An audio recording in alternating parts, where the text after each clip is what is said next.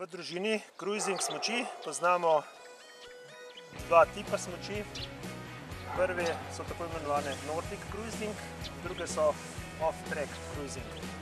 Za prve je značilno, da so nekoliko ožje. Te smoči lahko uporabljamo tudi za hojen tek po urejenih terenih, se pravi v smočini, v klasični tehniki.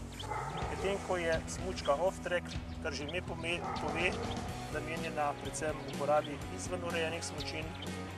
Smučka je nekoliko širša.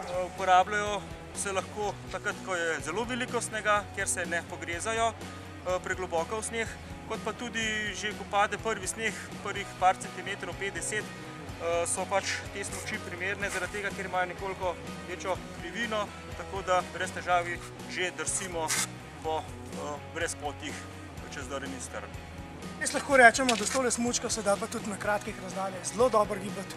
Tudi med drevje, seveda moramo biti majčkeno pozorni tudi na kako vejevje, drugače pa lahko rečemo samo za eno besedo še enkrat super. Te smuči pa so seveda primerne tudi za vse manj zahtevne in bolj zahtevne športnike, ki se poleti veliko ukvarjajo s kolesarjenjem, nordijsko hojo, tekom, tako naprej. V zimskem času pa seveda lahko priporočamo, zelo priporočamo tele terenske smuči za našo terensko križarjenje čez Drn in Strn in seveda s tem se zelo dobro lahko pripravimo tudi potem za poletni čas.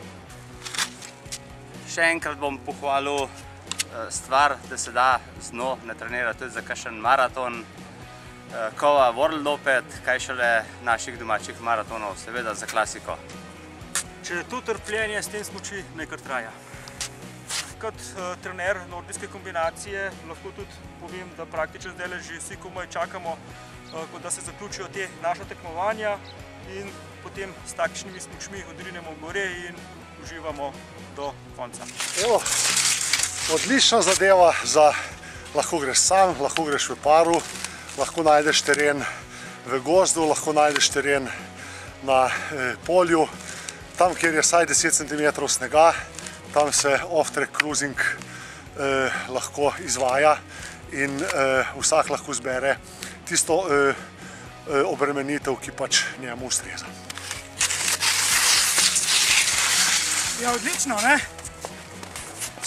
Pri Fischerju točno vejo, kaj narediti, da nam naravo zopet približajo.